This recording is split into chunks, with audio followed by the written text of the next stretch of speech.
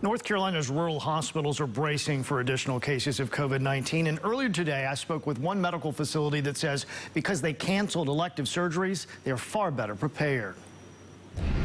Rural hospitals in areas like Lillington, Dunn, and Sanford are like any other hospital in the state. They have to be prepared for patients with COVID 19. An early decision is one reason Central Carolina Hospital in Sanford is better equipped than it might have been.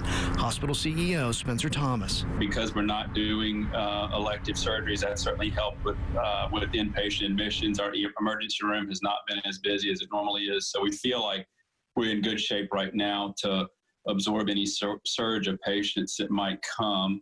Um, we also have contingency plans. Uh, you know, should we get into the situation where the the, the surge uh, outpaces our physical bed capacity, so that means we might have to look at it.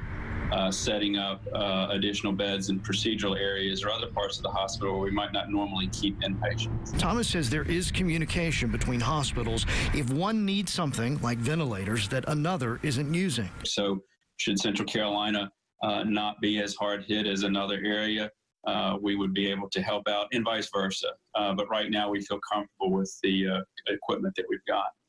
Masks and gowns, you have enough?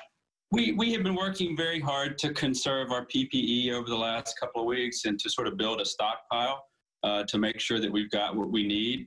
Uh, we're like many hospitals in that, you know, we're observing conservation strategies.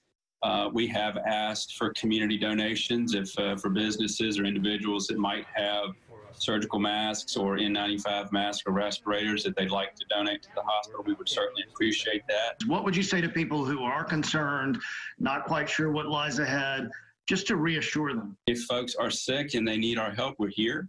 Uh, our doctor's offices are open. Our emergency room certainly is open, uh, and we're here if you need us. Good to hear that positive attitude, too. Sanford currently has one person who's hospitalized with COVID-19. That person is in ICU.